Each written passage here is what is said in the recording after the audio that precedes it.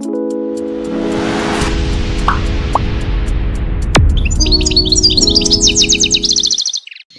عليكم. آه، هذا على الخفيف يعني. بالنسبة للمربين اللي يعانيوا من معوجاج ريش أو ذيل الطائر آه، ليكن في علمهم. آه، طريقة سهلة ومجربة. تحكموا إناء. فيه ماء ساخن. ساخن.